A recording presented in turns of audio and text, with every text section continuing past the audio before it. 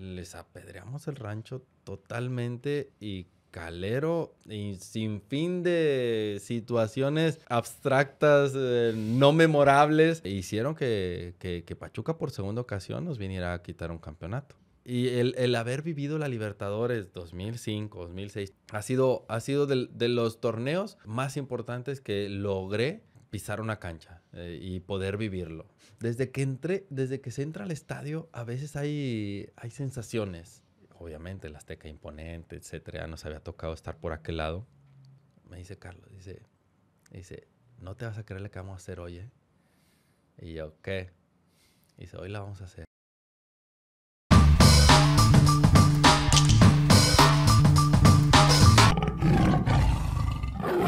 ¿Qué tal amigos? Muy buenos días, buenas tardes, buenas noches, dependiendo de la hora que nos estés viendo. Bienvenidos a Solo Tigres el Podcast. Te habla tu buen amigo compañero Rubén Heredia, conocido como Rubik en las redes sociales. Gracias por estar con nosotros en un episodio más de tu podcast favorito en Solo Tigres.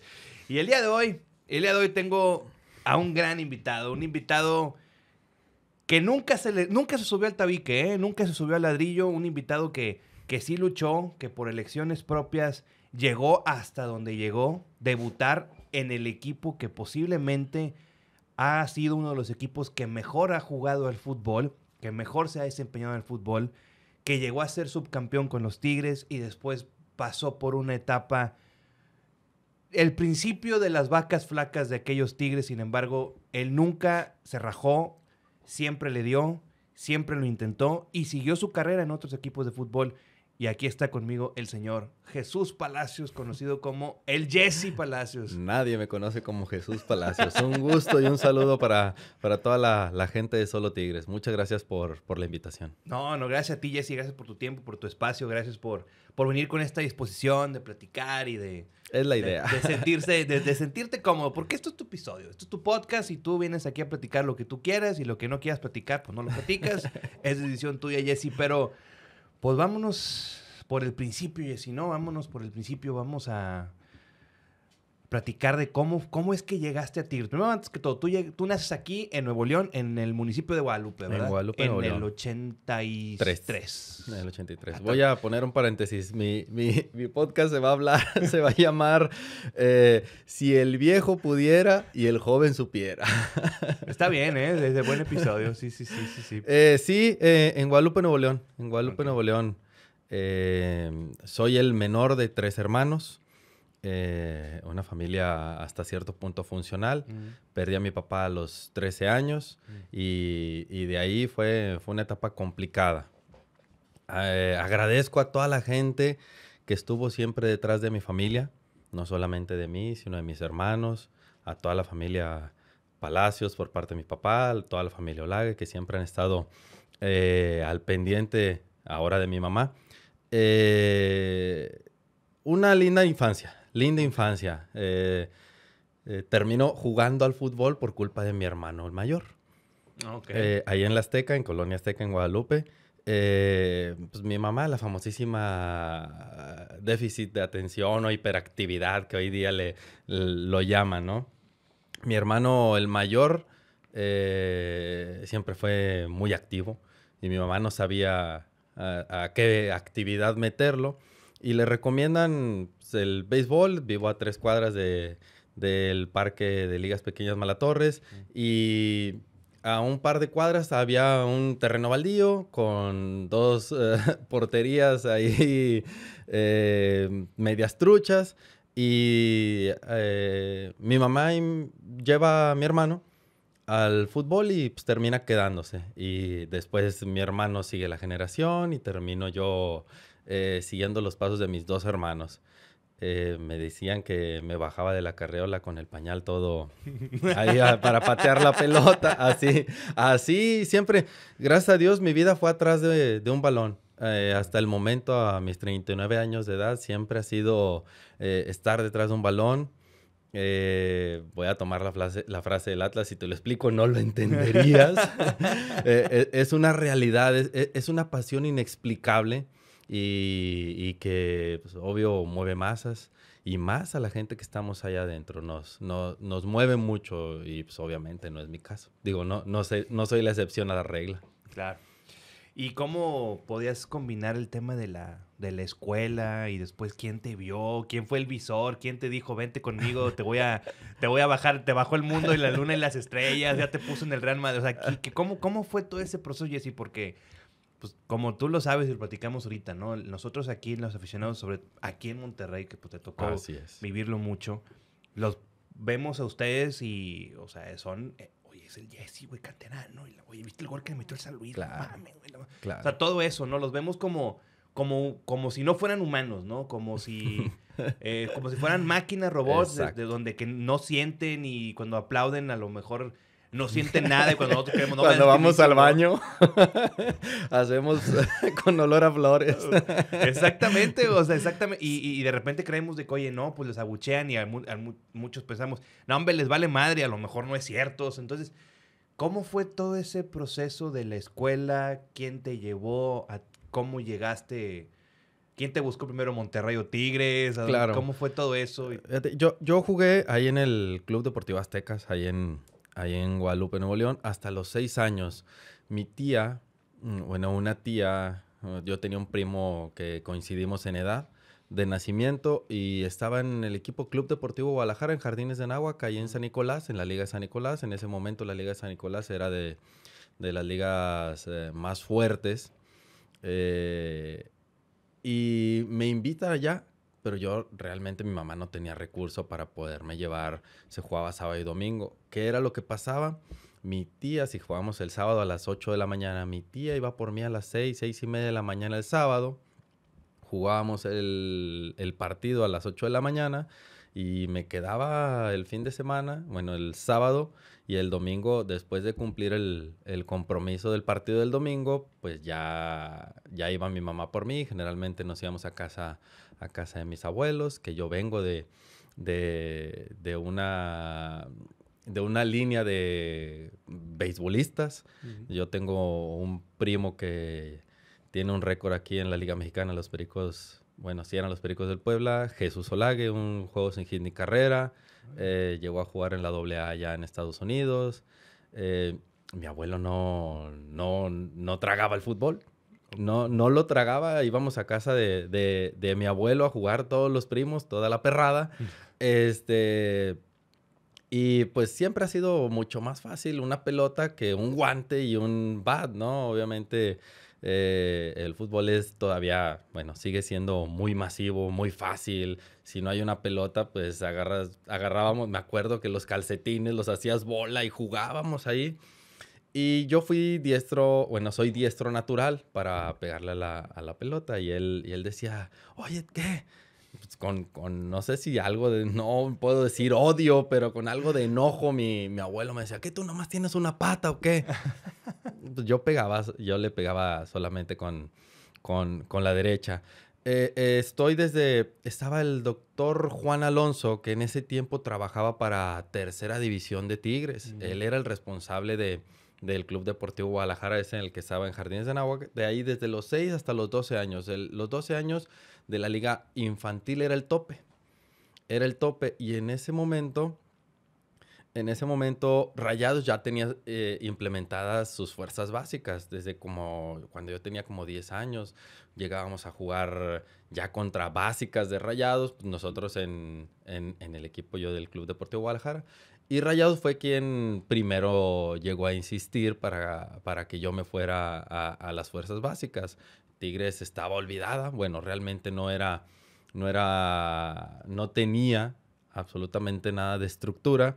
Me invitaron y cosa curiosa, yo creo que a lo mejor algo del sentimiento que yo tenía ahí con mis amigos del Club Deportivo Guadalajara, eh, me dijo, no, no me voy, no me quiero ir, no me quiero ir, no me quiero ir, no me quiero ir insisto que llega el tope de la liga infantil y en ese momento justo es cuando empieza las fuerzas básicas en, Tigres. Mm. En Tigres. Y por la conexión del doctor Juan Alonso, eh, el equipo del Club Guadalajara, eh, que era el equipo que él tenía, pues empieza a, llevar jugadores, a nutrir a las fuerzas básicas de, Tigres y eh, llegamos a ser visoría pues, del equipo como tal. Y pues ahí terminamos quedándonos varios y ahí comienza mi historia en Tigres desde los 12 años. y culmina hasta los 25 años. Pasé por todas las divisiones, llegué a jugar en Medero, llegué a jugar en los campos Escamilla, Cigarrera, no, hombre, un sinfín, un sinfín de canchas y peripecias para poder llegar a los destinos, porque no teníamos eh, eh, el recurso y obviamente pues no había la facilidad que hoy en día ahorita hay con tantas plataformas de, de servicios de autos, pues agarras uno, pues antes eh, un un camión urbano y levántate cinco y media de la mañana, pues para poder ir y, cumplir el compromiso. Pero pues, digo, esos pequeños detalles, pues dieron pues, para que llegara a cumplir el, el sueño, ¿no? Claro, claro. Entonces me estás hablando que tú llegas, digamos, ya en forma a los Tigres en 1995, cabrón. Sí. No, es decir, es que hicieron desmadre ahí Tigres en ese momento. Eh, creo que en ese momento es el Inter en que llega justo Sinergia Deportiva, más o menos, Sinergia, ¿no? 96, 97. Sinergia llega en, 96. El, en el segundo semestre del 96. Exactamente. Ahí es donde llega Sinergia, entonces te tocó... Bueno, aunque te tocó algo que no estaba establecido, pero, te, pero te tocó una época donde... Es que en aquella época las fuerzas básicas de Tigres eran eran semilleros. Exactamente. el Guadalajara terminó siendo campeón con tres tigres ahí, Mariano Varela, Martín Zúñiga, el Gusano. Entonces, te entonces, alguien te vio y ah, te, vio que sí tenías talento. Sí, sí. Eh, siempre, siempre he nombrado a esa gente como mentores. Digo, ya, ya te nombré al, al, al doc Juan Alonso, que hasta hace creo que tres, cuatro años termina de jubilarse ahí en la institución el profesor Marcelino Gutiérrez, la Pini Gutiérrez, seguramente en alguno de los otros podcasts con, otros tigres de antaño ya, ya lo nombraron. El profesor Manuel Mozo, eh, estuve con el profesor eh, Azuara, eh, profesor Adrián Incapié, Pepe Sánchez, que la gente lo recuerda con rayados, pero pues también tuvo su etapa acá en, Fuerzas Básicas de Tigres. mucha gente, mucha gente que, que aportó eh, a lo mejor en el momento terminas por, enojarte, por sentirte indispensable, pero a la larga ya cuando lo ves eh, eh, desde otra perspectiva, con otros ojos, con unos ojos más calmos, más tranquilos, más serenos, dices, wow, wow, mucha gente que te aporta y que en el momento no la ves, no lo ves, no lo ves. Un, un, comentario que a lo mejor en el momento para ti es hiriente, dices, ¿qué razón tenía fulano de tal? Digo, ese tipo de cosas, eh, entre toda la gente que llegué a toparme, y que me disculpen si se me pasa alguno, que hay muchísima gente detrás de, un muchacho, tenga dinero el muchacho o no tenga dinero el muchacho, en las condiciones en que termine por llegar a, a cumplir el sueño de primera división, hay mucha gente detrás, mucha gente detrás que, hace hasta ciertos puntos, ahorita estaba platicando por el tema de las elecciones, en muchos casos eligen quitarse el plato de comida de la boca pues para brindártelo a ti y en muchos casos, en muchos casos fue, fue mi situación, fue una situación que, que agradezco.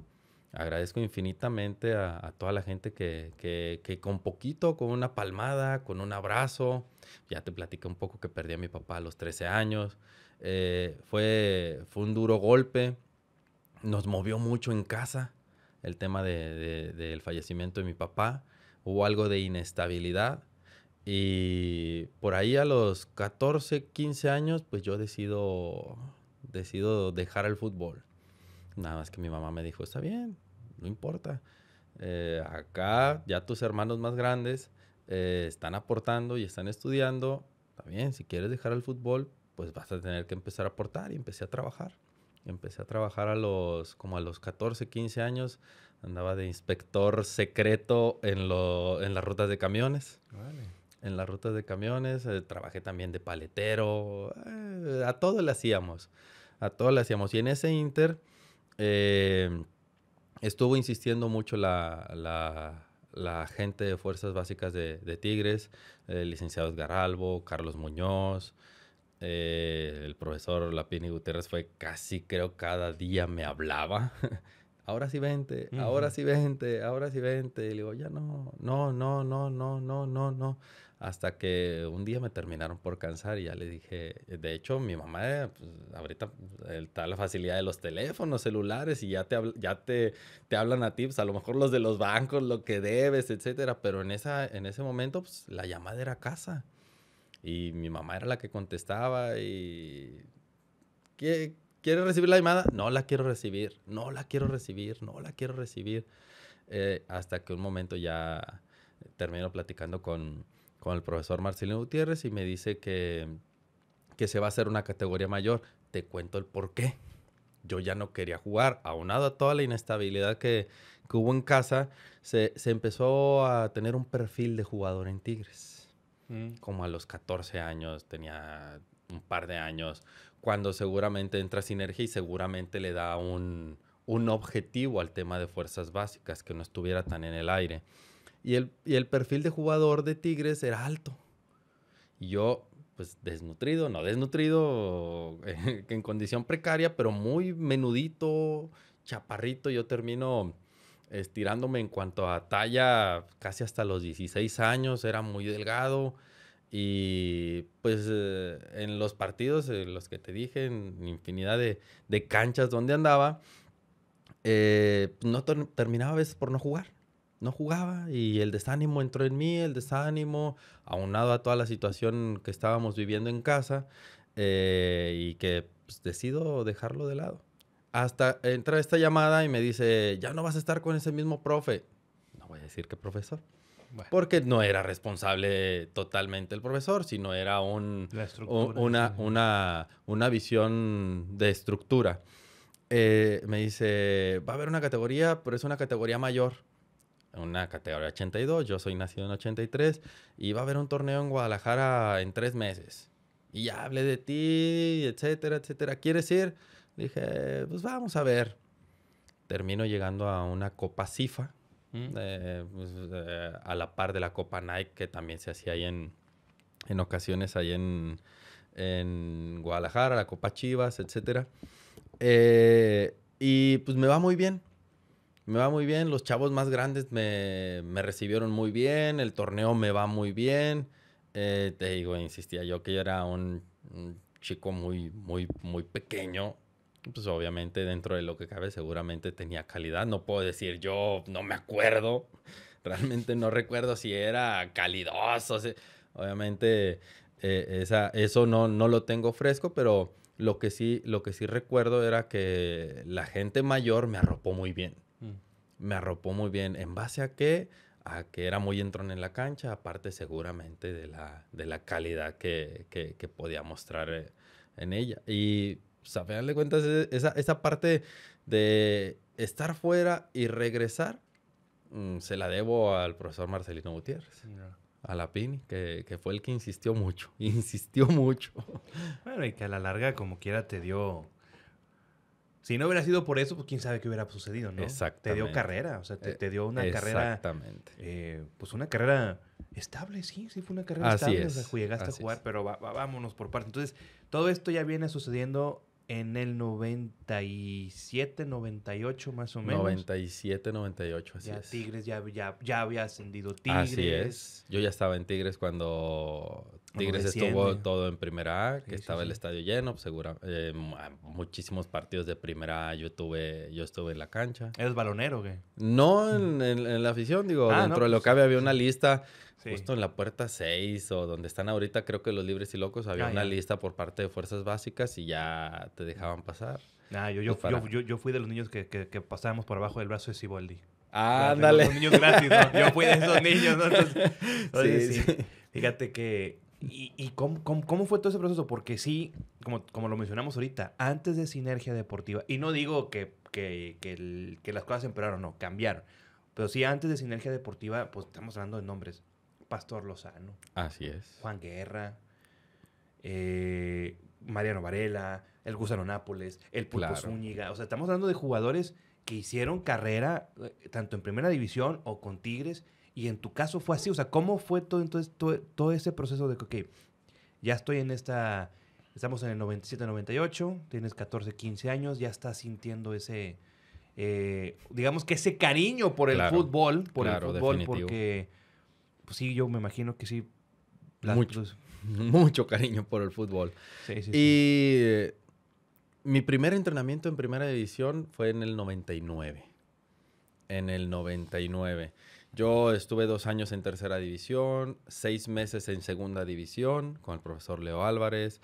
Digo, en tercera estuve con, con la abuela Suara Mm. y estaba la Pini Gutiérrez. Me toca ir a entrenar a primera A, primera con Chava Carrillo de técnico, con Batocleti, en paz descanse. Eh, me, ten- atrás, atrás de mí hay tanta historia de Tigres. Pues venga, pues, cuéntala, porque como quiera, yo me acuerdo, además yo me acuerdo haberte visto jugar en Reynosa, cabrón. Sí. Ahí estuviste. Pues sí, yo soy de allá, es- güey. ah, ah, yo estuve ahí en Reynosa. Sí, estuve ahí en el Reynosa. López No- Mateos. no de- Qué cancha tan no de-. ¿Qué querías? Era cancha de béisbol, adaptada. E igual que en Tijuana. En Tijuana también había una cancha de, de- de béisbol adaptada. De las cosas que, que han cambiado, creo que para bien, ¿no? Hoy, hoy los jugadores, eh, veo, al, veo al chatón que suelta una, Ah, eh, sí, por una lo que- situación, Por lo ¿verdad? Por sucedió lo de los sub-20, muchachos. sí. Este, tampoco dieron mucho. tampoco. te- eh, eh, eh, el, tema, el tema es de que decir, "Ah, antes era mejor, pues es el tema de la nostalgia y la añoranza. Digo, en esos momentos, yo siempre he dicho, el primer responsable aquí soy yo. Yo, eh, vacas flacas, dijiste hace ratito, vamos a llegar al momento de las vacas flacas. Pues yo estaba ahí, yo aporté para que fueran vacas flacas, ¿verdad? También no.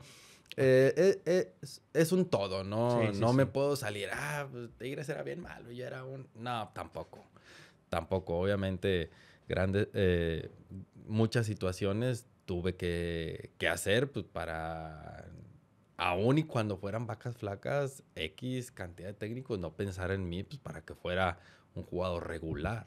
Esa parte, esa parte, pues, obviamente, sigo en ocasiones dándole vueltas, no con el tema de dándome topes contra la pared, sino de que, ¿cómo puedo yo aportarle eh, ahora que estoy en esta etapa de, de poder tener la capacidad de decirle tanto a mi hijo y si tengo la oportunidad de estar al frente de un grupo, cómo permear ese tipo de situaciones para tomarlos para bien? Claro.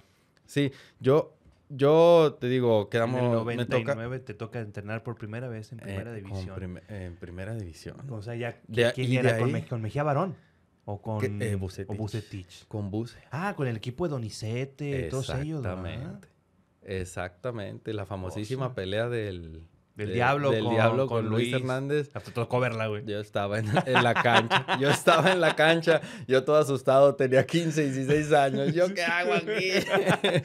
no, era...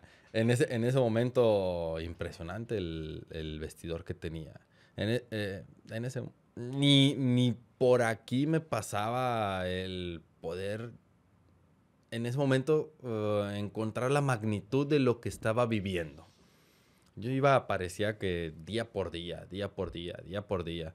Eh, llegó un momento en que en el Tigrebús a las 7 de la mañana del, del estadio yo me iba, yo entrenaba con mi categoría, cualquiera en la que estuviera, pero siempre me decían que me quedara yo. Ok.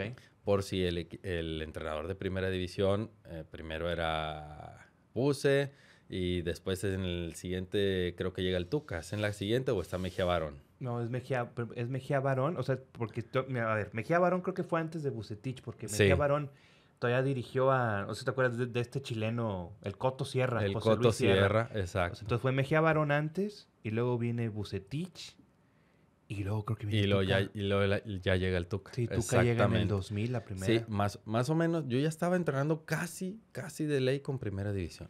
Casi de ley, casi de ley. Te digo, me aventaba, me aventaba, me aventaba un entrenatón, entrenaba con mi categoría, eh, había un Inter, pues hoy en día hay el tema de la nutrición, hermoso, maravilloso. No, hombre, en ese tiempo, híjole, te la aventabas hasta las 3, 4 de la tarde, a veces sin un alimento. Ah. Sí, sí era, sí era, sí era complicado. Eh, en el 99 es cuando empiezo, llega, llega el Tuca, eh, sigo yendo de manera regular a, a- A a entrenar. entrenar a primera división. Yo jugaba acá, ya te digo, en segunda, nacional de reservas, o en su momento a primera A. A Mira, primera A, así es. Sí, y etapas maravillosas, maravillosas. En primera me encuentro, me encuentro con, con una situación eh, de bullying, de bullying por ciertos jugadores, pero también de mucho, mucha ayuda por otro grupo de jugadores. eh, las novatadas, las novatadas conocidas. A mí, no, a mí nunca me tocó, pero sí gente que mm, eh, tampoco somos monedita de oro, ¿no? ah, o sea, les, caías mal, cabrón, así de sencillo.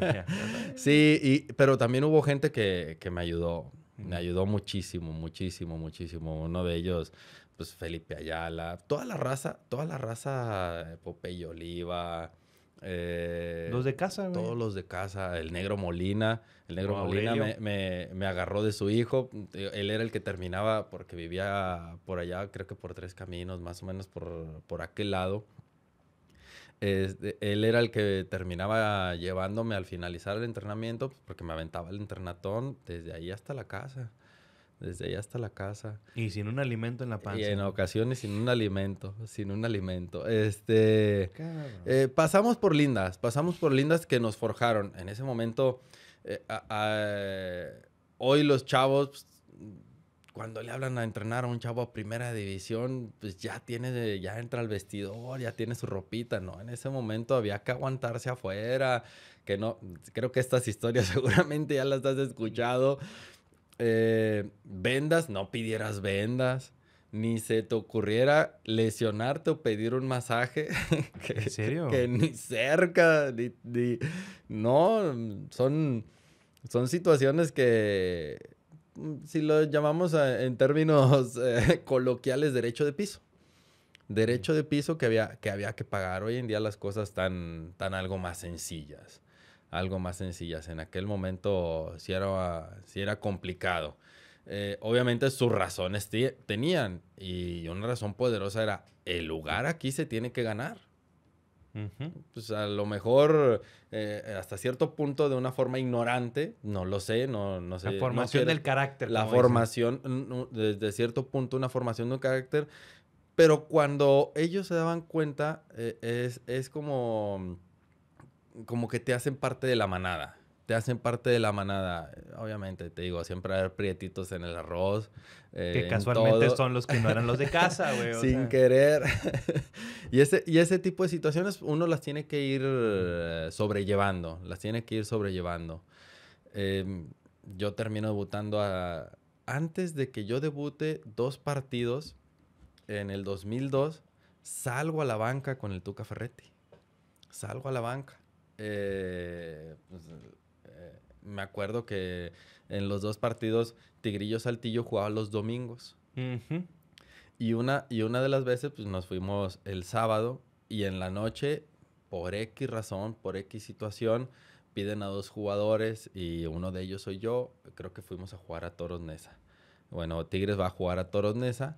este, termina ganando el equipo 2-0 y yo estaba en la banca y no sé, no sé qué, qué, haya pasado por la mente del Tuca. Y pues no me quiso debutar. No debuto y termino debutando hasta que él sale cuando llega Pumpido en el 2003.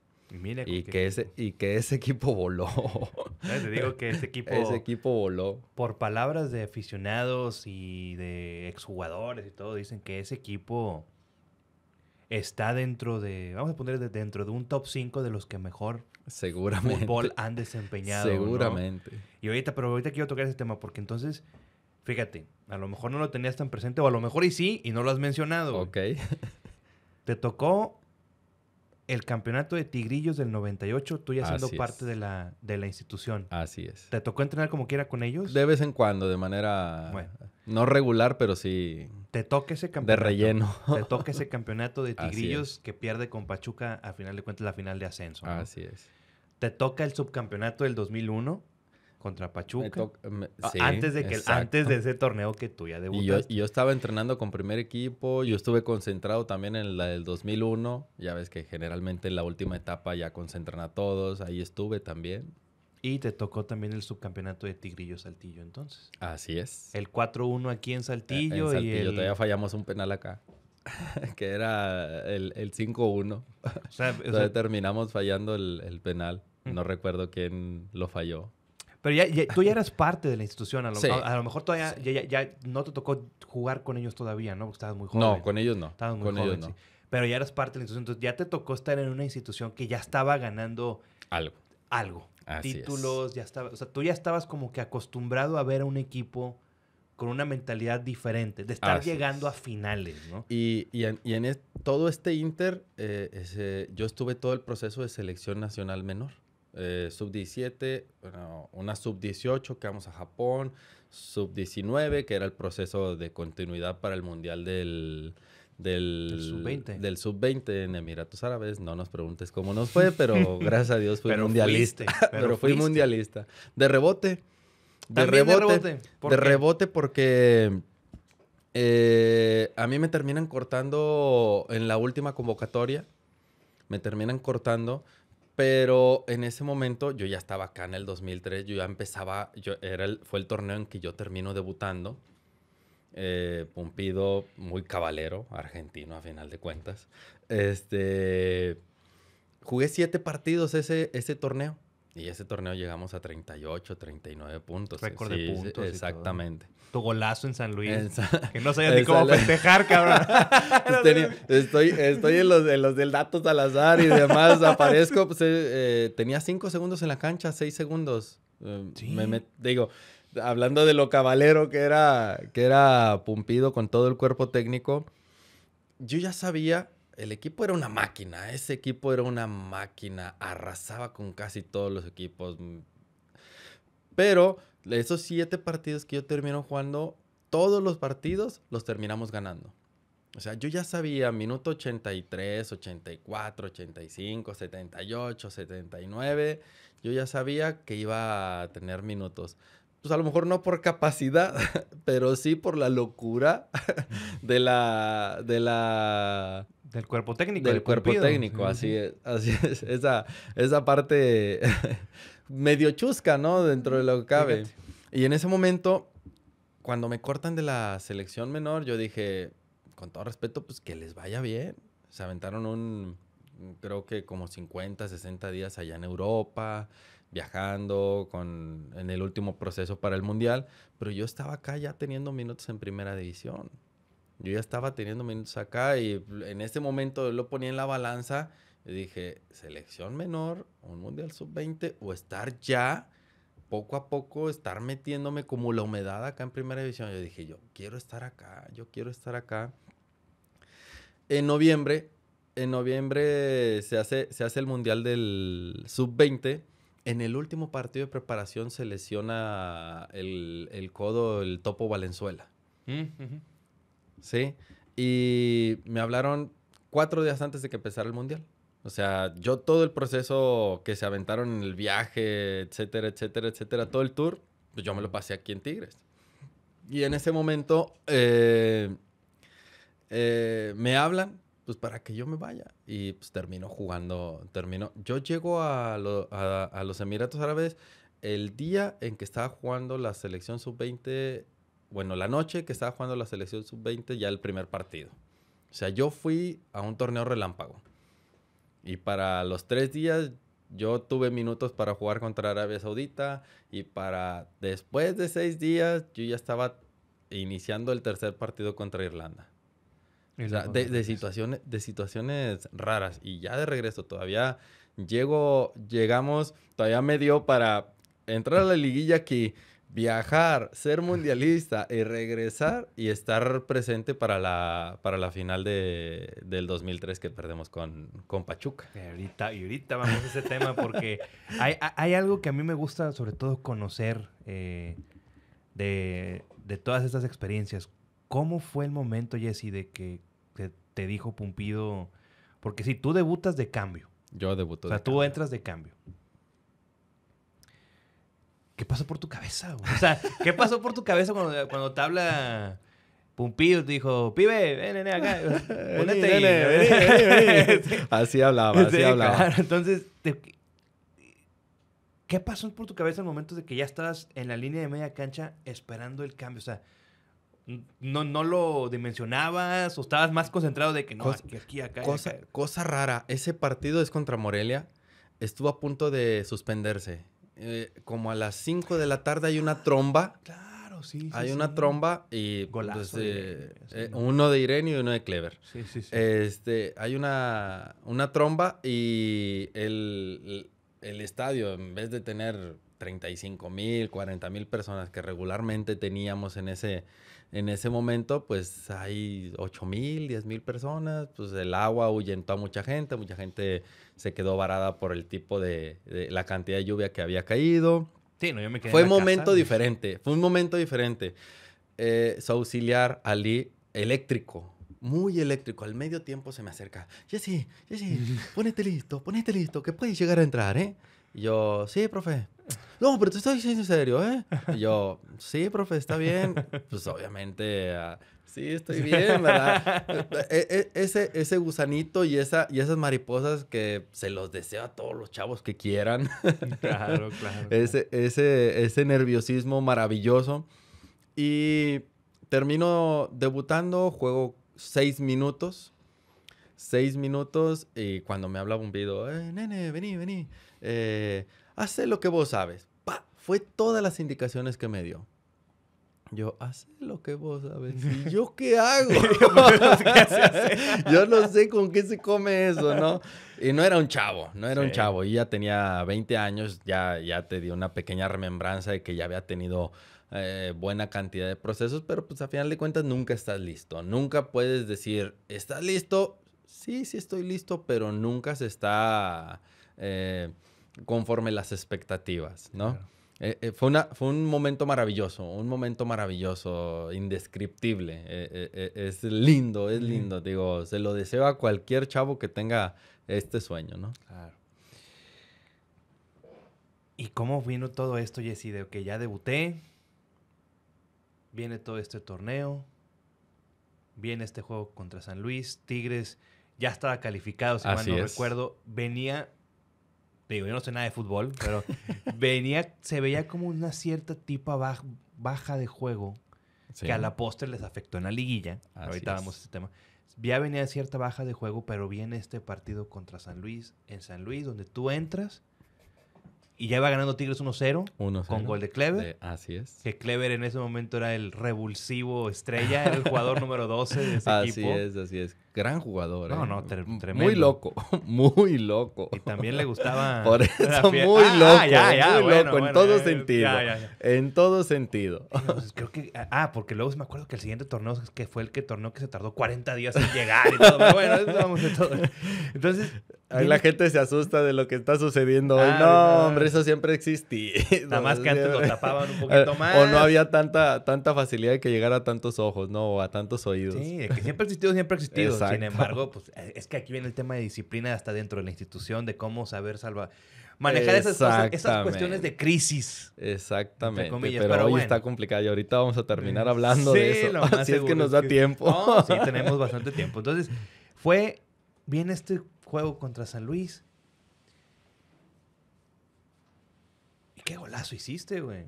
O sea, pues, ¡pum! De casi que tres cuartos de cancha, la pelota. o sea, Afuera del área como a 10 metros aproximadamente. Sí. Estamos hablando de 25, 30 metros aprox. Sí, lo, lo peculiar es de que eh, es la segunda pelota que toco porque eh, robo la pelota, eh, donde robo la pelota le cae el cookie, el cookie estaba de espalda y yo en mi locura, a mis 20 años, corría como venado loco, salvando la vida. eh, la, le da el taconazo y no puedo decir que sin pensarlo, porque pues, no es una expresión propia del fútbol, ¿no? Pues, Porque haya una memoria muscular, ¿no? Eh, intento y termina cayendo un golazo, termina cayendo un golazo y ya, ya lo dijimos, la expresión de no saber cómo cómo festejar, pues por, por cómo se dio el momento, ¿no? Son- fueron siete segundos en la cancha. Digo, insisto que creo que estoy ahí en la... Sí, sí, en el re- en el libro de el- récords. El, libro de récords, eh, este... Pero son, son, de nueva cuenta, les digo, ojalá un chavo o alguien logre vivir una situación así, de, donde hasta tu rostro de felicidad se ha desencajado. Pocas veces, pocas veces sucede algo así, ¿no? Ujú. Pocas veces sucede algo así. Y mucha gente de ahí, el Jesse, el Jesse, el Jesse, no es lo mismo. Eh, eh, hay, eh, había escuchado el del licenciado Guerra, ¿no? Que hay goles que cambian vidas, ¿no? O marcan historias de vida, ¿no? En una institución. Y, ese, y esa situación a mí, dentro de la institución, hasta ahora lo sigo arrastrando. hasta ahora lo sigo arrastrando. en mi historia de dentro de la institución me gustaría que fuera por más cosas positivas, pero a final de cuentas las cosas se dieron así y la gente dice, ¿se acuerda del golazo? Mucha gente pensaba que en ese momento estaba yo debutando. y, como son flashazos nada más, la gente piensa, ah, el día que debutó metió gol. No, no, fue casi al final del torneo. fue casi al final del torneo. Ya estaban calificados, como les digo a ustedes. Yo me acuerdo que metes el gol y te abrazas con Clever, si mal no recuerdo. No, Clever ya había salido. Sale enojado en ese partido Clever. Entonces te abrazaste con un brasileño. no, con, con, el Cookie. El primero, el, primero fue el Cookie. Sí, voy primero con el Cookie, el que me carga. Sí, sí, ya me acordé. No sé por qué tenía pensado que había, te, había cargado alguien de piel morena, güey. Pero bueno, te Sí, te abraza el cookie, pues obviamente. Ahí estaba Irenio, seguramente. Yo creo que era el otro. Posiblemente. A lo mejor de lo que tienes de, de, de, recuerdo, ¿no? recuerdo, sí, sí, sí. Entonces, sí me acuerdo que pues, viene ese gol, lo gritamos, lo festejamos porque, pues, eh, oye, pues es, el de la casa, ¿no? Es, este, lo, este cabrón lo siente, ¿no? Jesse, ¿cómo viene todo esto? Viene toda esta vorágine, viene este, este torneo. O sea, ¿cómo era el ambiente en ese vestidor? ¿Cómo fue? ¿Por qué crees tú que ese equipo llegó a jugar como jugó, que juega por nota? Porque creo que fue una de las mejores ofensivas, si no es que la mejor y la mejor defensiva. O sea, era un equipo completamente equilibrado. O sea, ese equipo difícilmente lo volvimos a ver. Sí, lo podemos comparar con el del 2015 si tú quieres, pero es muy diferente el sistema y todo esto. Así es. ¿Por qué crees tú que ese equipo llegó a jugar por nota? ¿Qué pasó en la liguilla? ¿Por qué sentiste que vino ese bajón de juego? ¿Y por qué en el 2004 ya no pudieron mantener ese, ese nivel que a la postre le da la salida a Pumpido, y luego viene Fíjate que, que, hay, hay, varias situaciones. Una, e influye de manera natural las metodologías de trabajo. Si, si, mando, si eh, eh, se terminaba la etapa del Tuca, mm.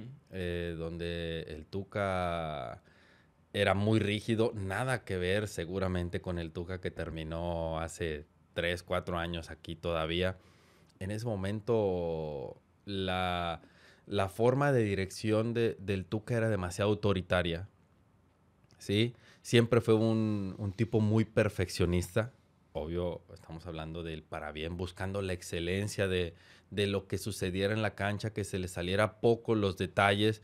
Eh, y con Pumpido fue un giro, no puedo decir de 360 porque es lo mismo, de 180 grados. ¿Sí?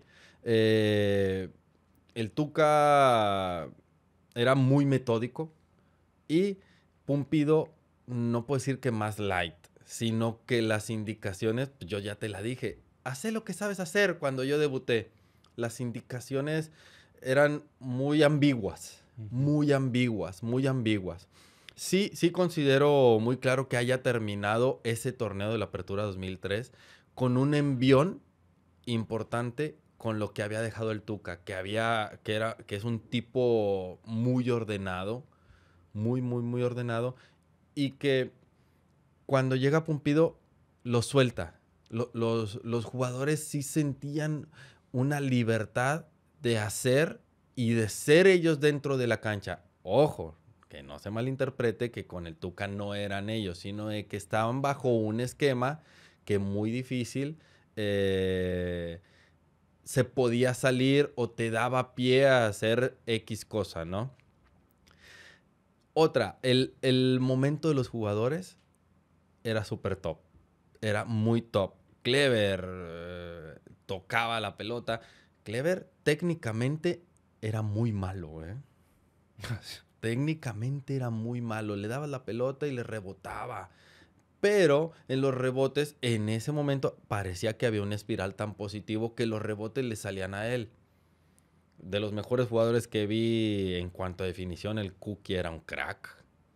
Un crack. Solamente un gol le vi co- con el empeine que le metió a Santos. En el clausura 2004. En el, en el Donde 2000. Exacto. termina siendo campeón de Él goleo. termina siendo el campeón de goleo. Pero era un crack. Él definía bajo. Ya después empiezas a ver cosas que en el momento ni les tomas. Lo que hizo Walter en ese, en ese Apertura 2003 fue la chamba que le hacía Irenio a Walter. Y Llegó Mario Ruiz con Saavedra, eh, estaba Briseño por un lado, O Regis. o Lalo Regis, Estaba el Chima en la banca. el Chima también en la banca. Era, era un equipo muy completo, muy, muy completo. Eh, eh, Campañolo llegó y pues, desde que llegó Pumpido las canchas de Suazua siempre han estado durísimas, durísimas. No sé si recuerdan que en ese momento mandan traer arena de, desde Cancún o no sé qué más. Campañolo no se tiraba. En los entrenamientos no se tiraba. Mira, no, Y no- y no me dijo nada de y eso, no lo estoy, y no lo estoy diciendo para mal, sino que después realmente lo entiendes. Lo entiendes, lo entiendes. Que, que pues a lo mejor solamente, no, no te digo que no se tiraba, sino que solamente hacía el recueste, no volaba porque obviamente era casi caer en el piso. Hasta que después que llegan, llegan y le ponen arena, ya, ya más o menos se, se, se medio recostaba más cómodo aquel. Fíjate, no me dijo nada de eso. Pues no te va a andar diciendo eso él. Un saludo para Gustavo si Sí, en sí. algún momento te llega a tus oídos. Eh, bueno, oye. ¿Y, ¿y qué pasó en la final? Bueno, antes de eso, ¿tú siempre fuiste medio de contención? ¿Siempre fuiste un 8? O, o- 10. Ye- Yo Ah, era 10. tú eras 10. Yo era 10. Y te, te, te bajan a, ser 8. Me bajan a ser 8. Sí, Eh. por las necesidades. eh, en primera A, eh, creo que escuché aquí al, al licenciado Guerra que, que dijo de los famosísimos programas pilotos de la federación, yo fui uno de los beneficiados en primera A. Mm, ya, sí, sí, sí. Teníamos que jugar cinco jugadores menores de 23 años. Eh, y mayores de 23 años solamente 6. de los famosísimos programas pilotos que anda buscando siempre la federación, siempre, todo lo que hagan ahorita. No, la federación es un desastre. Siempre ha existido algo así. Y buscando y buscando y buscando. Y yo creo que nunca le van a encontrar. Yo creo que nunca le van a encontrar. Este, termino, termino jugando, mm, termino siendo favorecido, favorecido, aunque de tiempo atrás, digo, con todo lo que te dije al inicio, siempre fui un jugador proyecto para la institución.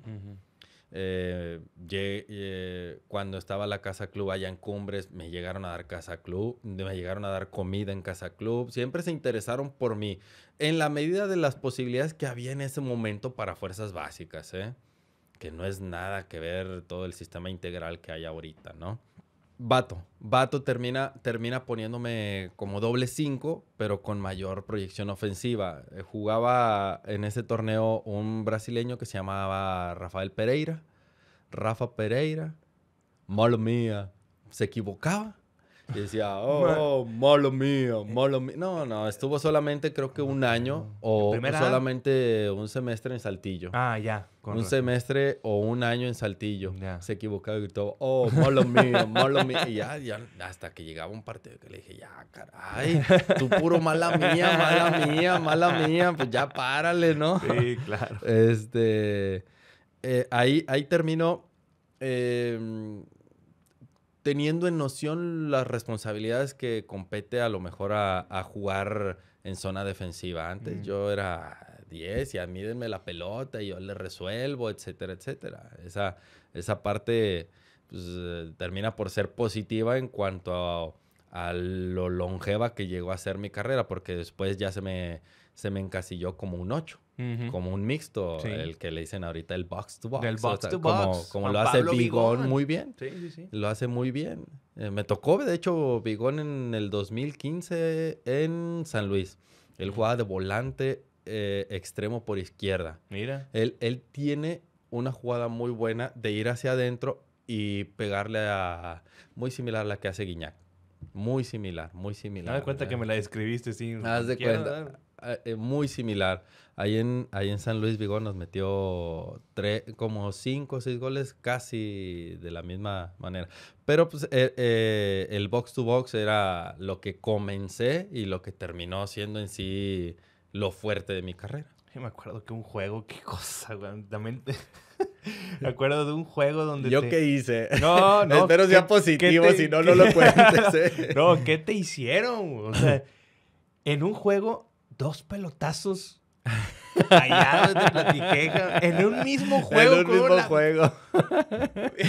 Qué suerte. A veces, a, veces, a veces tienes el don de, de tener imán, pero donde no se debe tener el imán. Qué cosa, cabrón. O sea, me acuerdo, ahorita, ahorita se me mira a la mente, me acuerdo de ese juego que fue un lapso de 7, 8 minutos. Pri- Primero que hay, luego ya, ya en el... Y luego A los tres, a los cinco, siete minutos otra vez. Yo me acuerdo que... de haber dormido todo allá, güey. algo así, algo así, algo así. Pero bueno, entonces, bien, ok, te- acomodas tú como 8, viene todo esto. ¿Qué pasó en la final del 2003? Porque también quiero llegar a tocar el tema de pues, el Aztecaso, que fuiste parte Así es, de ese Aztecaso, Libertadores 2005, claro, Libertadores 2006. así es.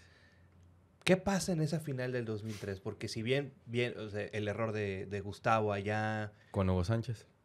con Hugo Sánchez Exacto. Guerrero, sí, Hugo Sánchez Sí. Guerrero, eh, y viene el 3-1, viene acá... Punto, punto. Calero a veces, a, veces las, a veces las decisiones de los técnicos no son las mejores. No sé si en ese partido, si lo recuerdas, que saca, que saca Clever.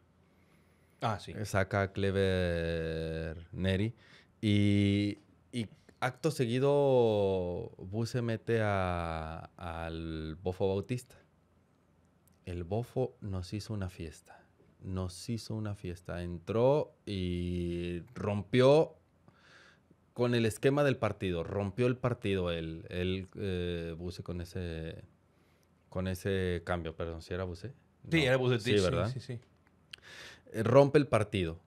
Rompe el partido. Y todavía estábamos 2-1 y no, no tuvimos de, nuestra perspectiva. Yo me quedé ahí en la banca, no tuve, no tuve minutos. Este, desde nues- per- nuestra perspectiva que estábamos en la banca, que siempre estás comentando el partido, en ocasiones tiras pa'l monte gacho, en ocasiones dices, no, ¿para qué está jugando? eh?". Ya ves las famosísimas contracrónicas que le hacían en TV Azteca, Ah, ¿no? sí, aquel barato. la de Palencia y demás, ¿no? Este, pero, pero es parte, es parte de, de lo que sucede. Nosotros en, en la banca decíamos que teníamos que cerrar el partido cuando nos meten el 2-1.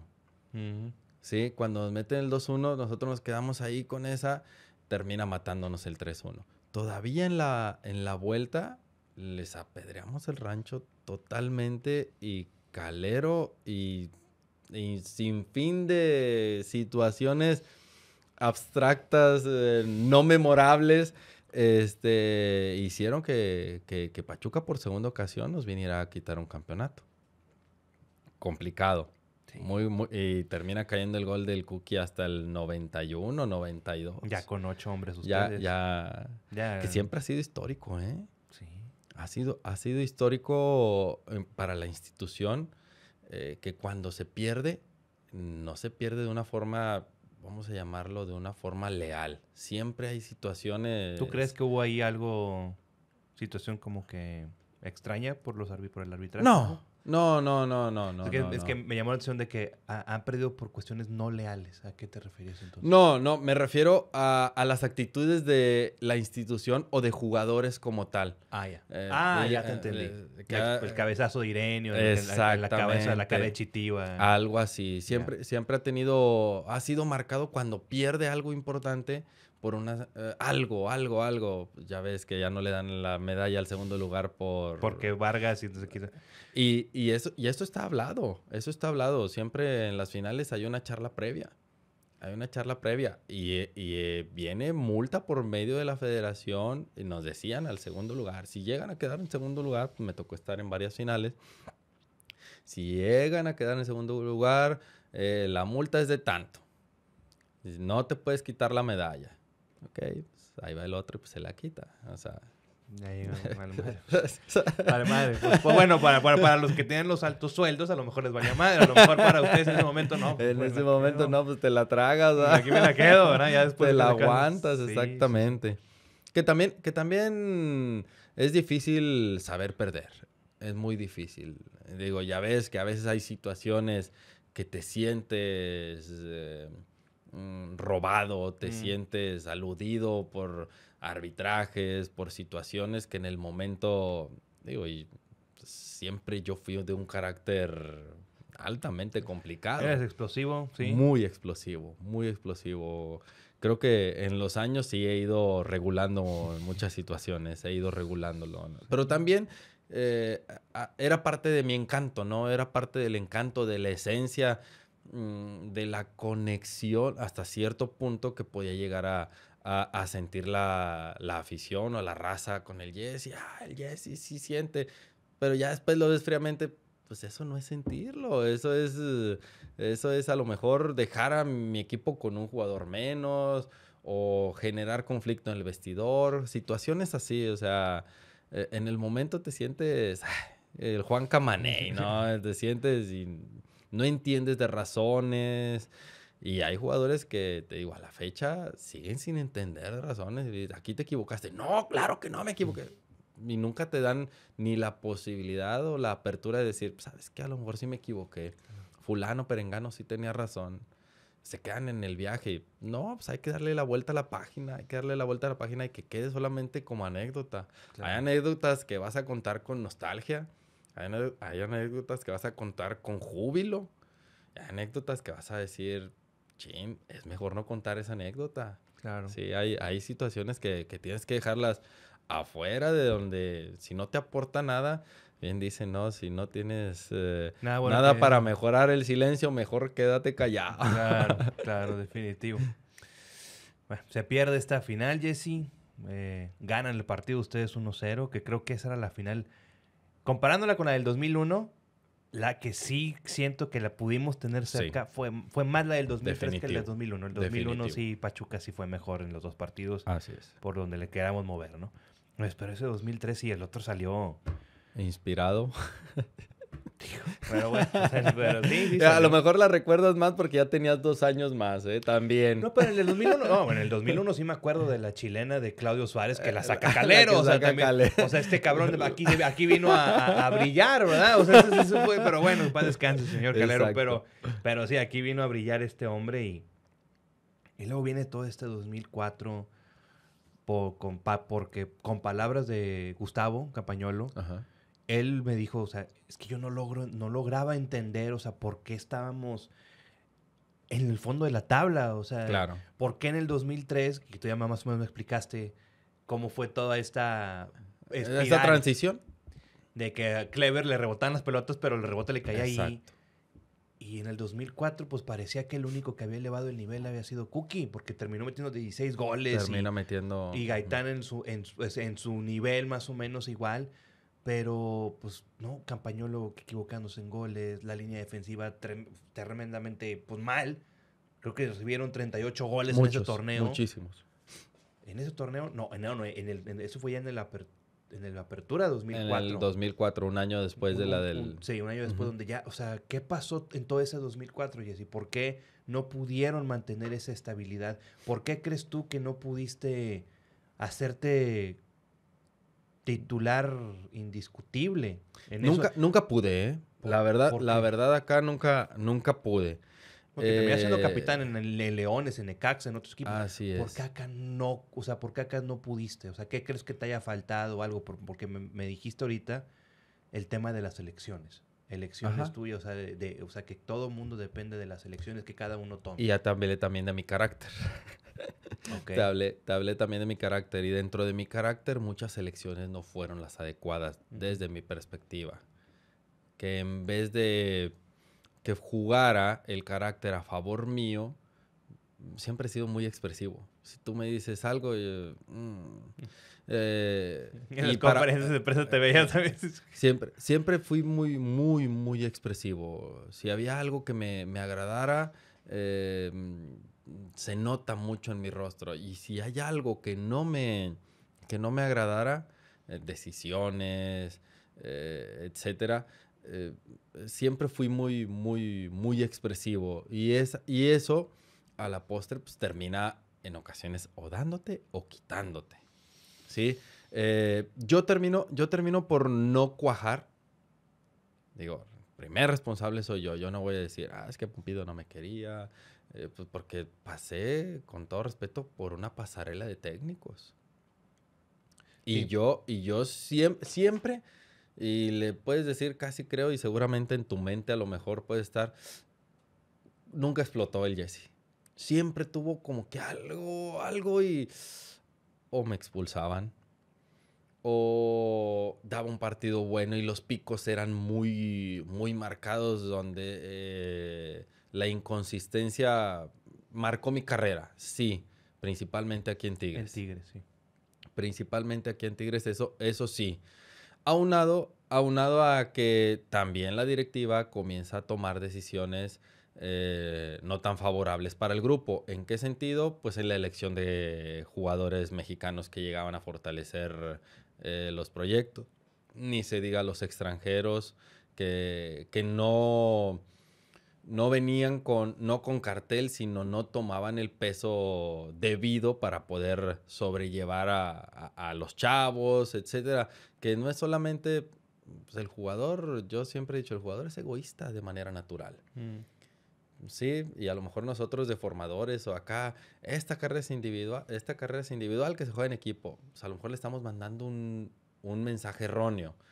Esto sí es individual, pero pues a final de cuentas, yo dependo de ti, Rubí. Yo dependo de allá y de allá y de allá y de allá. Si ustedes no andan bien, yo no voy a brillar. ¿Sí? O si yo ando bien, yo voy a hacer que tú brilles. Y, en ese sentido empieza a haber muchas situaciones aunado a un cambio generacional de boom de muchas cosas que pasan en ese inter. Eh, escuché el podcast de, Lucas, el tema de zancadilla, mm. que siempre ha existido, ¿eh? Que siempre ha existido, pero el cambio generacional o el cambio, el impacto que llegó a tener una nota o una columna como esa adentro del vestidor, ¿sí? Empezaba a, generar desconfianzas que hoy en día, pues, digo, a lo mejor ya es un poco más común, ¿sí? En ese momento em, muchos compañeros pues, empezaron, empezamos con síndromes, síndromes hipocondriacos o algo por el estilo. Estaban platicando los jugadores, eh, uno acá, pues, que estarán hablando de mí. O sea, situaciones que te terminaban por alejar de lo realmente importante. Eh, ¿Sí?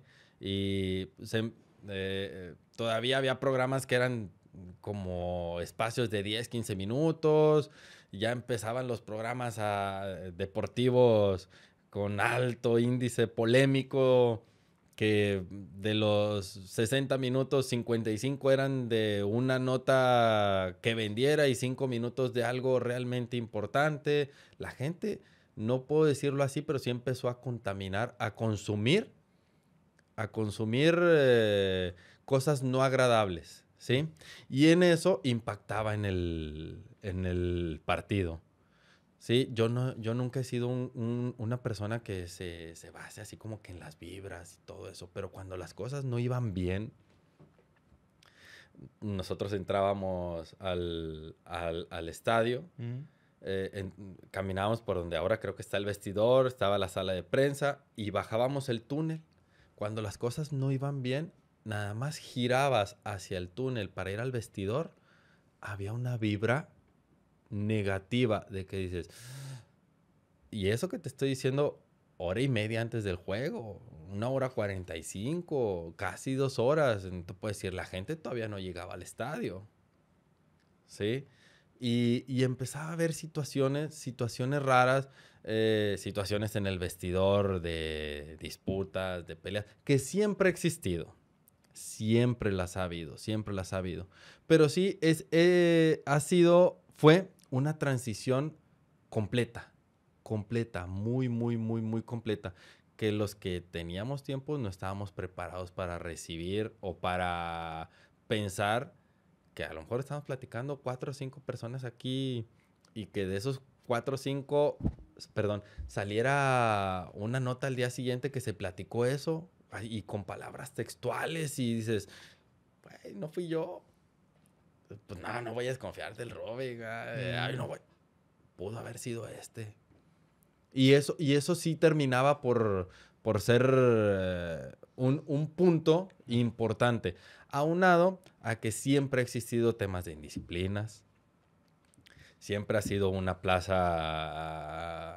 caliente en el sentido de que les gusta el, jugador la pernoctar, la cerveza, todo ese tipo de cosas, que no es una plaza sencilla, no lo es, no lo es, no lo es. Y los tiempos comenzaron a cambiar de una forma pa.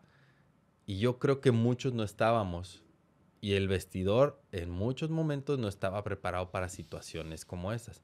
Y ojo, te estoy diciendo pocas cosas deportivas. Aunado, ¿por qué? Te digo pocas cosas deportivas porque pasó eh, Leo Álvarez, pasó Vato, pasaron muchos técnicos, unos capaces, unos muy capaces, unos preparados, unos muy preparados, y ninguno le pudo dar vuelta a una situación de inestabilidad, de, de una medianía, de una medianía que estábamos siempre 8, 10, 12 y que era, era, era complicado hacer protagonista al equipo. Era muy complicado. Jugador que viniera con el nombre que viniera, llegaba y parecía que dejaba de brillar. Parecía que o se contaminaba por algo o nosotros mismos, reitero, siempre yo me pongo al frente de las vacas flacas, pues yo estaba ahí, yo estaba ahí y a lo mejor yo no hice mejor a mi compañero, a lo mejor en competencia, a lo mejor en un, en, un comentario positivo para que el proyecto saliera. Esa, esa, parte, pues no la puedo dejar yo de lado. No puedo decir, ah, me trataron mal, etcétera, etcétera. No, aquí en Tigre siempre se me trató muy bien, siempre se me trató muy bien. ¿Tú llegaste a tener alguna disputa ahí en el vestidor, alguna indisciplina que tú llegaste a tener? No, yo de forma directa no. De forma directa no. Y, o sea, entonces había, me estás diciendo que, había, que se llegaron a formar grupos y tú formabas parte de un grupo. Sí. Sí, sí, en ese, en ese sentido, en ese sentido, es que es, es natural. Sí. Es, es, es, natural. Estuviste seguramente en la prepa con 20, 30 y, y, y, el decir yo aquí que había grupos no quiere decir que yo vaya, te vaya a dar el... No, no, no. Que simplemente empatizas que simplemente eh, existe algo de identidad ante un tema, y, pero, pero en ocasiones, cuando las cosas no van bien, eh, las situaciones sensibles terminan por permear o por salir, ah, es que me volteaste a ver feo, wow, métele, güey, todo ese tipo de cosas y a lo mejor el ambiente no era el, más idóneo, ¿no? El, mejor, ¿no? Esa, esas situaciones aunado a todo lo que te estoy diciendo, que los resultados no nos acompañaban. Pero bueno, viene una época, digamos, más o menos de ilusión con Leo Álvarez en esa Copa Libertadores que nos llevaron hasta los cuartos de final que a la postre pierden con el equipo que resultó ser campeón. Sao Paulo. Y que los tuvieron aquí en el universitario 2-0 y, y estaban a...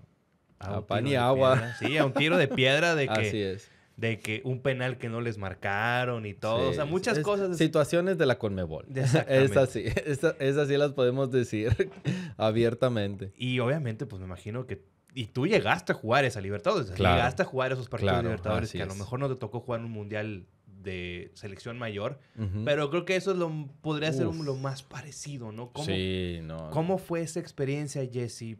Porque insisto, o sea, eras de la casa, o sea, tú, Hugo Sánchez, todos, o sea, eran, esos son de los nuestros, o sea, estos, esos es, el perfil tigre, ¿no? Por llamarlo de cierta manera. ¿Cómo fue esa experiencia, Jesse, de jugar la Libertadores cómo fue esa semifinal, que creo que son los puntos más grandes de, Tigres en ese momento. ¿Cómo fue esa semifinal contra el América en la vuelta? Porque en la ida ya estábamos desahuciados, que es la realidad. muchos, muchos no, no creíamos en que iba a haber una Muy similar a lo que sucedió hace algunas semanas acá. Pues, pues sí, hermano. Se pero, entiende, se entiende. O sea, pero, o sea, no, no es lo mismo, o sea, te voy, y, y- y con el respeto del mundo, no es lo mismo jugar con Aldo de Nigris de centro delantero que jugar con el de. Y no por, y no por demeritar a de Nigris, sino pues simplemente Son niveles diferentes. Exacto, son son niveles, niveles, diferentes. diferentes. Entonces, obviamente que esa 2005 pues fue esa y acá pues bueno, ya sabemos que alineación indebida. Bueno, bueno, son otros temas que No te enojes, No, ya, ya, te, ya, te, ya te saliste del tema. ahora, ahora, ahora me sacaste todo. Ahora ya ves. fui- ha sido el único que me ha sacado del tema. Muy bien, bien, bien. Bien ahí, buena tuya. Entonces, ¿cómo fue? ¿Cómo fue, Jessy? ¿Cómo fue esa experiencia de jugar esa Copa Libertadores? Porque creo que todavía también te tocó jugar esa... No, ¿cómo no? Te tocó jugar el- las dos Libertadores. Las dos, la del 2006 también. 2006 2005, 2006.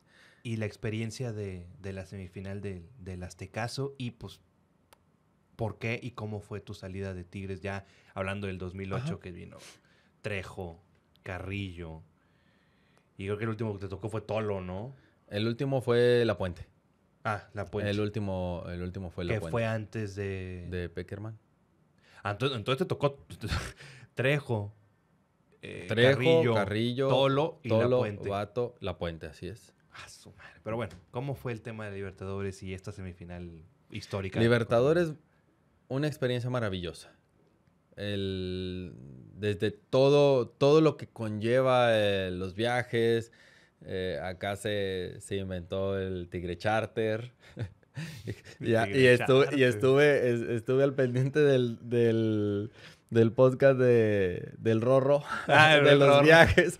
Eran viajes, Ese- eran eh, viajes ponchito. Ese, podcast donde mi niño se me apareció ahí. Qué cosa, le mando un saludo a mi bebé, pero Exacto. cosa. Pero eso Ya sí- ves, ya ves. Otra vez te voy a sacar. eh. Qué bárbaro. Eh, Pero para que te des cuenta que he estado al pendiente y me gusta, gracias. me gusta, me gusta la verdad. Muchas gracias. Este, y, y escuchar a los, eh, a los compañeros con los cuales en algún momento llegué a, a- a compartir cancha, la perspectiva que tienen eh, algunos años después. Bueno, no, no me salgo. Maravillosa la experiencia de Libertadores. Maravillosa. Desde, te digo, el tema de, eh, de en la búsqueda Tigres, mm, de, dar un mejor servicio, de ir más cómodos. Me acuerdo cuando fuimos a Argentina, este, hacen el Tigre Charter. Nos paramos, eh, ya lo te digo, ya lo platicó.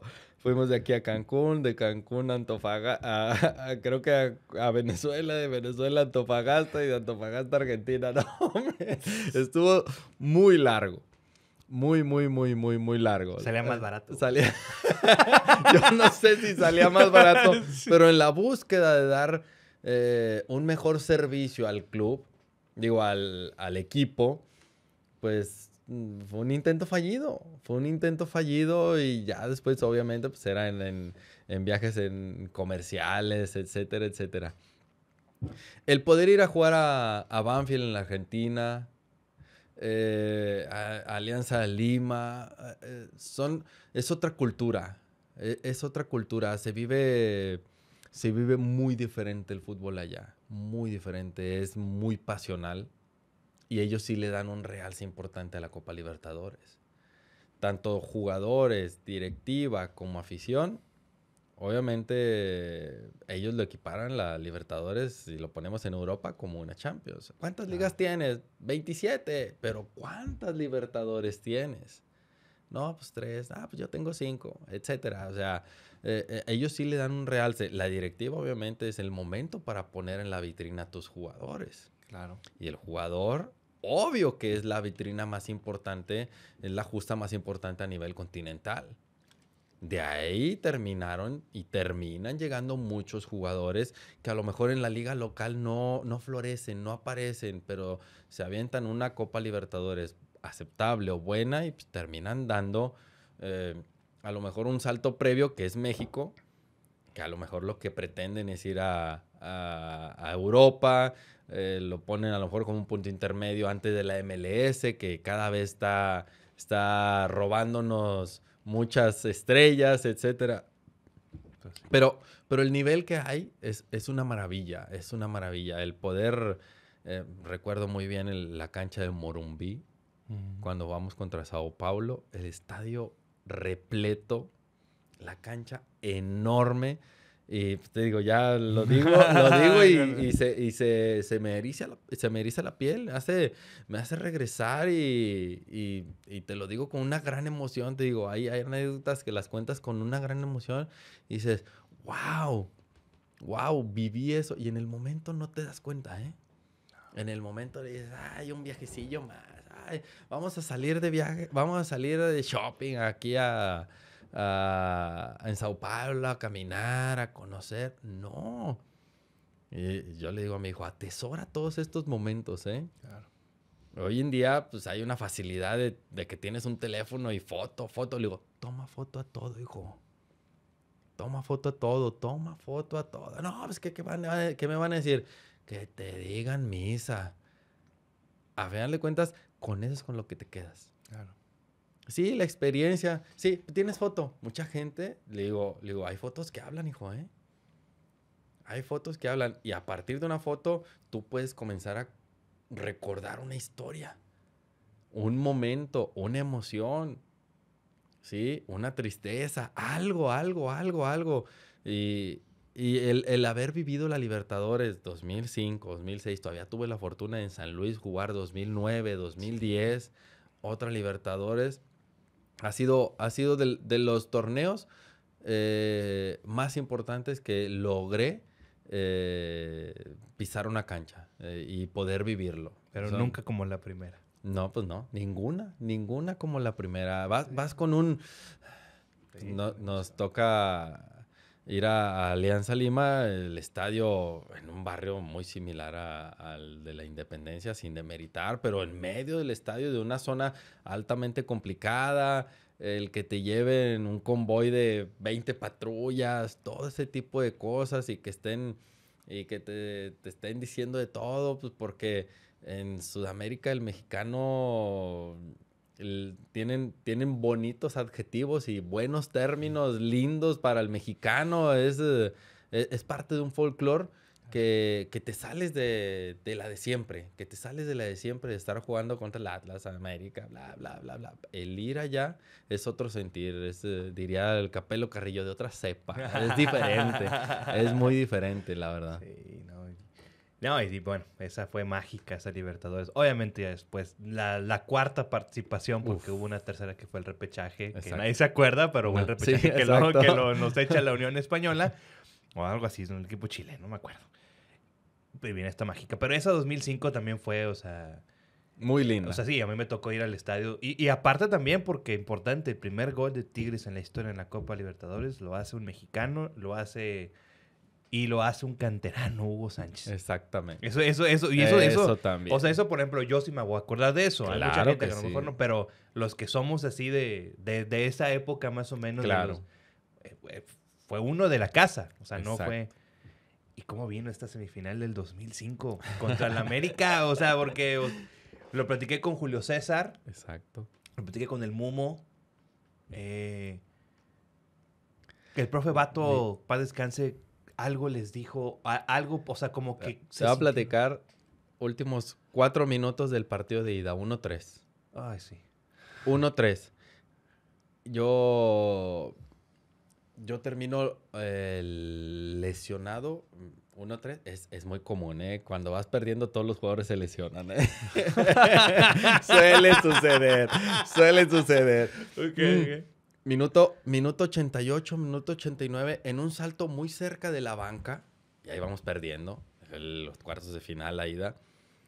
Salto y se me pone el gemelo duro, duro, duro, una contractura muy fuerte. Y estaba en la banca Javier Saavedra. El chamorro, para que no entiendan. El chamorro. Van a decir, van a decir el gemelo no me vayan a alburear. para el derecho o el izquierdo. okay. Estaba Javier Saavedra en la banca. Javier Saavedra estaba inconforme en ese momento porque estaba en la banca. Mm. Y te digo, el minuto 88-89, pues Vato le dice que tiene que entrar. Entra muy enojado. Muy enojado. Cosas que pasan, ¿eh? Ni lo voy a decir, ah, Javier, muy mal. No. Se acabó el juego, pues terminamos 1-3. Yo voy caminando, medio caminando al, al, al vestidor Y Javi estaba muy enojado. No era contra mí, era contra toda la situación que estaba viviendo él en su, en su emoción en ese momento, ¿no? Llega y estábamos en el vestidor, yo estaba sentado acá, vienen y me buscan atender, el hielo y demás, y llega, llega, creo que Carlos Muñoz y le, y le porque creo que le hizo una, una cara o algo al profe Carlos Muñoz, este, y le, Carlos, pues, con la autoridad que tenía y con esa personalidad y la personalidad, el carácter fuerte que siempre lo, lo, lo marcó como, como importante. Él va y quién sabe qué le dice. Eh, yo estaba, estábamos en el vestidor, obviamente en algún momento has estado en el vestidor, cinco metros, a mí me estaban atendiendo y llega y le, como que le dice, pues no me vuelvas a hacer eso o algo por el Y Javi le dice, pues míralo. Dice, no trae nada.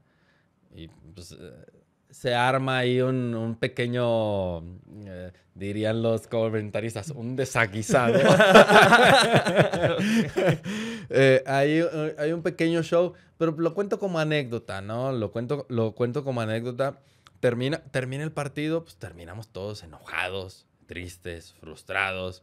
Eh, nos da vida el gol que mete Julio César casi al finalizar el juego. Nos vamos a, la Ciudad de México solos. Esa otra frase. La derrota es huérfana. La derrota es huérfana. Y la victoria tiene un buen de padres, ¿no? Ah, y no tiene madre. pues vamos al juego de allá. Eh, creo que repite alineación hasta cierto punto el profe, eh, el profe Bato. Pues porque no, acá no habíamos jugado tan mal, el, recuerdo los goles, etcétera, etcétera.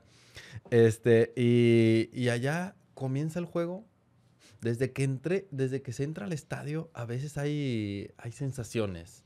Hay sensaciones. Entro al estadio, obviamente el Azteca imponente, etcétera, ya nos había tocado estar por aquel lado. Y me dice Carlos, me dice Carlos, dice, dice, no te vas a creer lo que vamos a hacer hoy, ¿eh? Y yo, ¿qué? dice, hoy la vamos a hacer. Y ah, déjate, mi compadre, en, el mejor de los, del mejor de los sentidos, ¿no? Dice, no, no te vas a creer. Dice, nos vamos a chingar. Y dije, sí, hombre, o sea, con algo de fe, pero, güey, los pies en la tierra, necesitamos tanto. Y él me dice, sí, vas a ver, vas a ver. ahora le va comienza el juego y pues se avienta el juegazo que se avienta Carlos. Pues los tres pases a gol fueron de él. Salió tocado también. salió, salió, salió tocado, ¿no? No, no hubo una, una charla muy diferente. Vato era muy frontal. Vato era muy frontal. Tampoco era muy rebuscado. Y, sí, muy similar la frase que hizo icónica con las chicas. Al margen del, al margen del resultado. Siempre era así. Siempre fue así. Fue, fue directo. Muchachos, estamos aquí.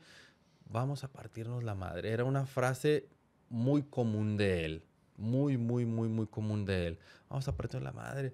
Vamos a intentar dar buen fútbol. Pocas indicaciones tácticas. ¿Sí? Eh, entra, entra la situación de que América eh, inicia el partido sobrado, muy sobrado. Creo que hasta hace como 3, 4 modificaciones Mario Carrillo y descansa 3, 4 jugadores que a la postre lo manda al hospital. A Mario, sí, se, lo, se acabando el juego, se lo llevaron al hospital.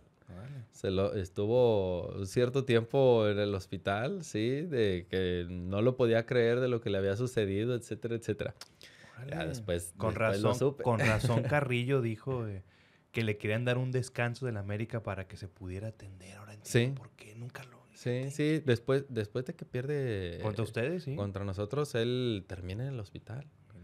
Pues a lo mejor algún chequeo regular o de rutina, pero no tan de rutina, pues porque algo sucedió, ¿no? Claro. Algo sucedió. Eh, pues terminamos haciendo la hombrada. Pues, eh, oye, es muy. La hombrada, perdonen las mujeres, la mujerada, no sé cómo decirlo. La hombrada, pero es que la hombrada es del, es del hombro. O sea, no es, Ya lo no es sé. género. Oye, también tengo, lo lo sé. tengo que explicar, porque. Ya lo sé. No terminamos, terminamos cumpliendo lo que teníamos que haber hecho. Sí. Sí, pero desde el partido de ida, mínimo competir de mejor manera. ¿Sí? Si ese partido, Julio César eh, y Rivas no meten el gol, pues porque Rivas dice que, se, que es de él, ¿verdad? que la tele, la tele se ve el Y. Julio César no lo vas a quitar de que es mío. Mío, dijo, que diga que es suyo, pero yo lo pegué. yo La pelota pegué. me cayó a mí. Está bien. Después de, de- de- de esa situación, pues termina con júbilo. Termina con júbilo, júbilo, júbilo. Te digo, nos fuimos solos. El regreso fue como si ya hubiéramos quedado campeones antes de semifinal y antes de la final. Pues es que, Sí, fue. es que fue- eran, eran, eran nuestros. Eran nuestros triunfos, Jesse. Exacto. Lamen- digo, no lamentables, porque no, lamentablemente no, porque fueron épocas que uno ahorita ya las platica y, y recuerdas muchas cosas. Yo tengo Claro. una anécdota preciosa de el juego fue un domingo, mi papá, Mm. yo soy de Reynosa, mi papá estaba en Reynosa, está en Reynosa, mis papás me marca eh, un viernes, me dice, oye, ¿dónde vas a ver el juego? No, pues lo voy a ver aquí en la casa solo, ya, vale, madre todo, ¿no? Normal. Y sí, me dice mi papá. Con la fe del mundo se, Sí. te, se te notaba. Sí. Me dice, ¿por qué no te vienes a Reynosa? Lo vemos juntos. Ah, papá. Y aparte sea, saqué, o sea, me- o sea Ah, sí, o sea, voy Claro. acá y a verlos, a perder estos güey, o sea, Sí. y, me- y ahí fue donde me dijo, bueno, me vas a dejar solo ver el juego. Y ahí fue donde yo entendí, antes de que se la frase de que un tigre nunca deja solo otro tigre. Y me dijo, ¿me vas a dejar ver solo el juego? No, pues No. mañana te veo, papá. Claro. Hoy me fui y mira. Por eso ese juego para mí es muy, espe- es muy claro. especial, güey. Ese juego es muy especial porque lo pude ver con mi papá. Exacto. Porque si mi papá no me hubiera dicho eso, pues a lo mejor lo hubiera visto acá y, y a lo mejor hubiera dicho, chinga. O sea, me hubiera acordado de ese Me juego, hubiera- pero no de la mejor manera. Exactamente. Y, y es fue un momento mágico entonces. Claro, pues para mí Y sí. como tu historia, ojalá haya cientos y cientos y cientos, digo, pues, porque para nosotros fue uh, un momento Mágico, maravilloso. mágico. Un momento maravilloso. Sí, no. Y, y verlos así, y verlos el festejo y todo. Y, o sea, fue algo Eso me gusta, eso me gusta, eso, eso está, lo que estoy viendo, no, no sé si lo estoy viendo, pero lo que estoy viendo me está gustando. Sí. Me está gustando. Que, que es parte, que es parte seguramente de lo que pretendes, ¿no? Claro. Al, al poder, al poder interactuar de esta forma, eh, llevarle un pedacito a la gente, un pedacito de la gente, pues primero pues de lo que tú eres, ¿no? Y después pues obviamente de lo, que, somos nosotros, ¿no? Y no, y sí, Jessy, es, es eso, que los conozcan, que vean estas experiencias y todo, Jessy, y, y se nos quedaron varios temas en el tintero, Jessy, pero, pero, está bien porque... pues, Soy es- de mucho hablar. Es una plática, es una plática, pero te extiendo una invitación para una segunda, segunda entrega porque también quiero que conozcan esta Primer- historia. primera que hay que preguntarle a la raza si quiere No, segunda parte. a ver. Para decir, este es mi podcast y este yo lo hago. Y la gente, lo- y gracias a Dios, y se los agradezco mucho, la gente lo ve y, y- y se siente muy...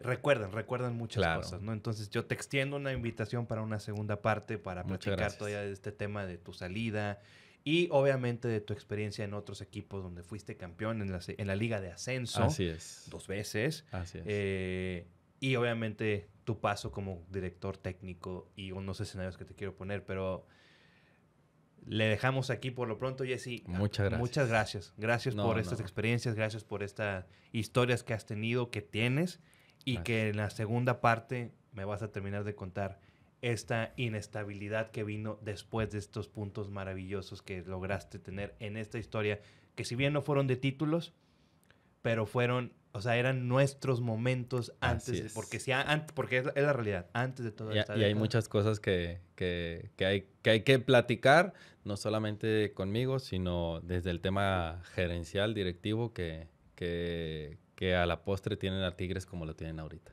Exacto. Y, pero, y también recordar algo. a- antes de toda esta década maravillosa en Tigres, nuestros logros o nuestros puntos importantes eran, eran estos.